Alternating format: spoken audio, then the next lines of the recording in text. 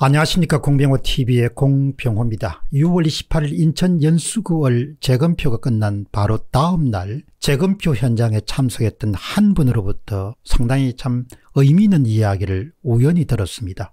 그분 말씀은 이렇습니다. 기표 도장 이미지가 얇게 된 곳이 거의 보이지 않았습니다. 그 점이 참 이상했습니다. 대부분은 좀 두꺼운 편이었습니다. 그러니까 재검표 바로 다음 날이기 때문에 생생한 그런 기억을 갖고 있을 때 이런 이야기를 들었습니다. 또한 그분은 이런 이야기를 추가했습니다. 사람마다 손의 압력이 다 다른데 제가 예리하게 집중적으로 개표기를 통과하는 투표지를 보면서 특히 사전 투표지의 경우에는 어떤 패턴 같은 랜덤으로 찍어낸 것이 아닌가 그 일종의 어떤 세트가 A셋, B셋, C셋이 있고 그것을 돌아가며 찍은 것이 아닌가라는 그런 의문을 갖게 되었습니다. 이런 말씀도 하시고 또한 당일 투표지에서는 아주 다른데 다 사전 투표지에서만 어떤 일정한 규칙 같은 것을 관찰할 수 있었다. 이렇게 이야기를 했습니다.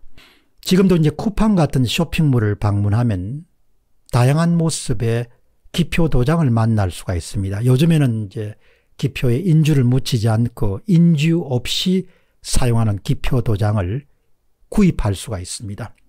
쿠팡을 방문해 보니까 대표적인 것은 만년도장이라는 그런 상표입니다. 그리고 또 아주문고에서 생산한 제품도 있습니다. 상하 각각 9mm 크기를 갖고 있는 인주 없이 사용하는 기표 도장은 우리가 4.15 총선에서 사용했던 것과 엇비슷한 그리고 4월 7일 보궐선거에 사용했던 것과 엇비슷한 그런 기표 도장입니다.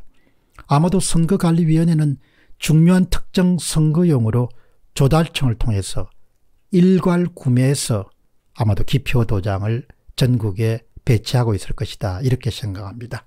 이제 주의해야 될 점은 일괄 구매가 이루어지고 나면 시중에서 선거에 지금 사용되고 있는 기표 도장과 꼭 같은 도장을 찾을 수 없다는 점입니다. 그러니까 지금 현재를 기준으로 보면 그런 문방구나 이런 데를 가더라도 다양한 기표 도장이 있지만 4월 15일 총선에 사용됐거나 4월 7일 보궐선거에 사용된 그런 기표 도장을 구매하는 것은 불가능합니다. 그러니까 현재 시중의 어떤 문방구에서도 4.15 총선에 사용됐던 기표 도장과 꼭 같은 인주 없이 사용하는 기표 도장은 구입할 수가 없다. 그렇게 보면 되겠습니다. 항상 의외로 기표 도장의 이미지가 생각보다 두터웠고 얇은 경우를 거의 보지 못했다는 그런 한 참관인의 그런 6월 29일 날 그런 대화가 머리를 떠나지 않았습니다. 근데 다행스럽게도 운이 좋게도 시청자 가운데 한 분으로부터 4.15 총선 당시에 사용됐던 기표 도장을 직접 찍은 기표 도장 이미지를 구하게 됐습니다.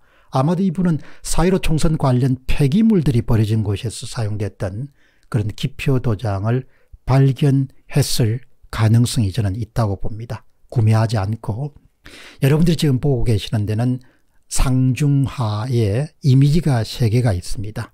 첫 번째 가장 위쪽에 있는 기표 도장 이미지가 4.15 총선에 사용됐던 기표 도장으로 찍은 이미지입니다. 한번 보시죠. 어떻습니까? 좀 작습니다. 생각보다. 우리가 생각했던 것보다도 기표 도장 크기가 이미지가 작고 그 다음에 특별히 또 주목해야 될 것은 도장의 굵기가 대단히 얇습니다. 이것이 바로 4.15 총선에 사용됐던 기표 도장으로 만든 그런 기표 도장 이미지입니다. 두 번째를 보시죠. 두 번째 있는 기표 도장이 일제 일본산 기표 도장으로 찍은 이미지입니다. 크기도 한 중간 정도가 되고 굵기도 제법 굵습니다. 마지막으로 가장 하단에 있는 세 번째 있는 기표도장 이미지가 중국산 기표도장 이미지입니다. 아주 굵습니다. 그리고 중국산의 경우에만 유일하게 종이 뒷면으로 범진 현상, 이게 저 이미지가 번지게 된다는 것이죠. 번진 현상이 있습니다. 현재로서는 기표도장 이미지는 한국산, 일본산, 중국산에 대해서 어떤 결론적인 이야기를 하기는 성급합니다. 다만 향후에 투표지 진위에 대한 검증 과정에서 반드시 인쇄된 기표도장 이미지의 진짜와 가짜 문제가 등장할 것으로 봅니다. 사실 기표도장 이미지가 인쇄되었다는 사실만으로도 불법입니다. 기표도장은 사전투표 현장에서 프린트로 출력되어서 교부된 사전투표 용지에 기표소에 서서 유권자가 인주 없는 기표 도장을 찍어서 그때 이제 비로소 사전투표 용지가 사전투표지가 됩니다. 사전투표지 자체에 대한 검증 과정에서 기표 도장 이미지의 굵기, 그 다음에 기표 도장 이미지의 패턴에 대해서도 정밀 검증이 반드시 있어야 될 것으로 봅니다. 거듭 말씀드리지만 기표 도장을 찍는 경우 인간의 손 압력 차이로 말미암아서 기표도장 이미지가 같은 것이 나올 수가 없습니다. 같은 것이 나온다면 이것은 곧바로 인쇄되었을 가능성이 높다 이렇게 볼 수 있겠습니다.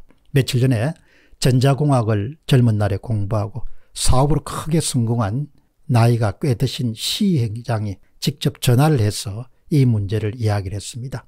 기표도장 이미지를 통계 처리하게 되면 정상적인 경우는 그러니까 유권자가 직접 찍은 경우에는 정규 분포와 같은 종모양 분포가 될 것이고 그러나 인쇄된 것이라면 거의 일직선으로 분포될 것입니다. 그런 이야기를 들려줬습니다. 이처럼 사전투표지에 등장하는 인쇄된 기표도장 이미지만 하더라도 우리에게 선거의 무결성과 관련해서 탐구할 만한 그런 거리를 풍부하게 제공하고 있습니다.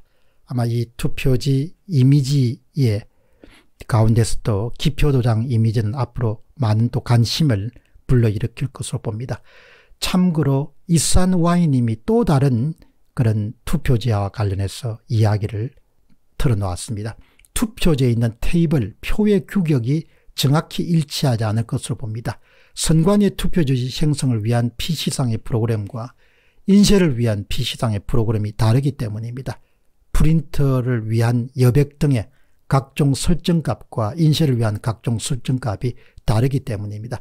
실제로 앱선 프린터가 주어진 설정값에 따른 제품 고유의 프린터 경향과 각각의 인쇄기 제품들이 갖는 성향이 다릅니다. 결론적으로 투표지 안에 테이블, 표의 구격에 차이가 있을 수 있음에 주목해야 됩니다.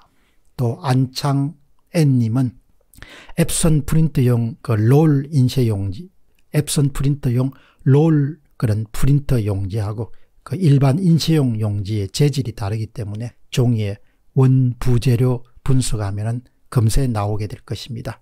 큰 제재회사나 또 산림청, 임업실험장, 강원대학교, 경상대학교, 서울대학교 등의 그런 분석기기들이 잘 갖춰져 있습니다. 어떻든 6월 28일 날 재검표에서 가장 아쉬웠던 것은 투표지 진위에 대한 그런 검증이 너무나 소홀하게 다뤄진 점입니다. 앞으로 투표지에 있는 그런 QR코드의 일렬 번호뿐만 아니고 기표 도장 이미지에 대한 증명 분석 또 인쇄 재질에 대한 증명 분석 또 인쇄된 것인가 프린트된 것인가 등에 대한 그런 검증을 별도로 우리가 실시해서 선거 무결성을 한층 강화하는 쪽으로 한국 사회가 나아가야 될 것으로 봅니다. 공병호 TV의 공병호였습니다. 감사합니다.